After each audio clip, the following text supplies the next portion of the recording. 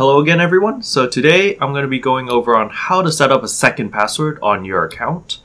You want to bring up your HUD, you press escape or you can click on this button right here. And right here there's an option for second level password. So once you click here, there should be a button around here. Let me just switch over to the web page to give you better step-by-step -step instructions. Uh, you click on second password and then this page will come up. It's like, are you sure you want to set up a second password? Just uh, confirm. Yes, I want to set up a second password.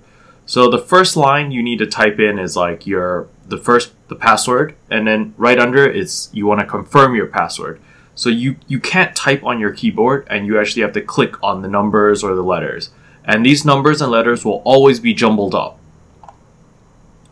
So after you've typed that, every time you log in, next time you this screen will pop up like when you want to log into your character or you want to change your stash or you want to buy something on the with the Hong Moon store, this will come up, but you just have to type it once for every login.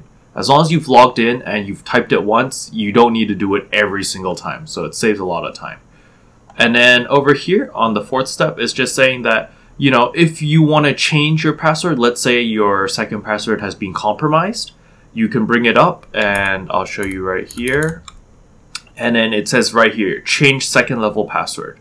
So once you click on change second level password, you type your old password here, your new password, and confirm your new password, and it'll be done.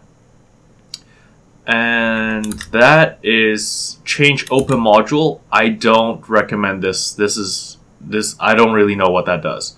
So I don't click that. And then this is if you want to cancel your second password, or it says here, cancel second level password. I don't recommend clicking on this because if you do click on this, it's, it's a it's a really annoying procedure with QQ as you have to do it on their website.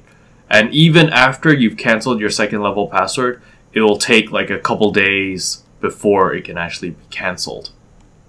So yes. Anyway, I hope this video helped, and I'll see you guys next time. Bye bye.